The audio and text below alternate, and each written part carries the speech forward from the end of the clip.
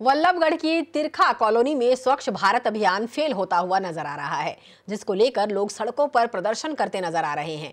इन लोगों का कहना है कि नेता इनसे वोट तो बटोर ले जाते हैं, लेकिन सुविधाओं के नाम पर कुछ भी नहीं मिलता। कॉलोनी में गंदगी के इतने अंबार लगे हैं कि जिससे घरों में बीमारियाँ फैलना शुरू हो गई हैं। लेकिन नगर निगम के निकम्मेपन से परेशान होकर आम नागरिक आंदोलन कर रहे हैं। बारिश के मौसम में सड़कों से आवागमन भी बाधित हो जाता है, क्योंकि सड़कें ना बनने से यहाँ पर घुटनों तक पानी जमा हो जाता है। जिससे लोगों को कई दिनों तक असुविधा का सामना करना पड़ता है। लोगों का कहना है कि अगर उनकी समस्याओं का समाधान नहीं किया गया तो वो सड़क जाम कर प्रदर्शन करेंगे।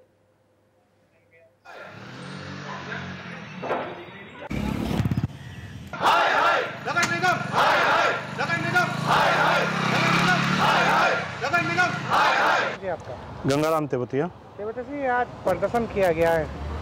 किस लिए किया था? ये प्रदर्शन भैया जब से सेक्टर दो और तिरखा कॉलोनी बनी है, तब से ये रोड और ना तो दोबारा बनाया गया है और आज तक सरकार ने ना इसकी सुध ली है। इस चक्कर में हमारे सारे साथियों ने इकट्ठा होकर के माता बहनों सबने इकट्ठा होकर के प्रदर्शन किया है।